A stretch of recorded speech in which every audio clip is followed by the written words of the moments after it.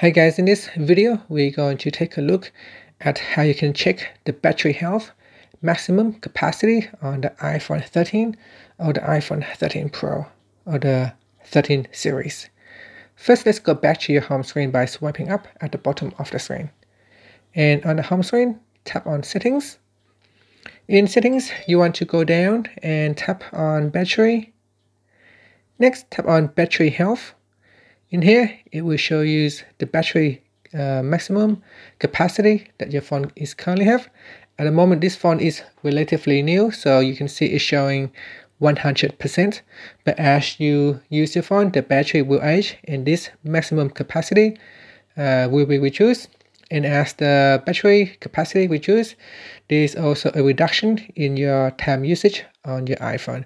And that will mean that you will have to charge your battery more often. And that's it. So that's how you can check it out on the iPhone 13 series. So it said here, this is a measure of battery capacity relative to when it was new. Lower capacity may result in fewer hours of usage between charges.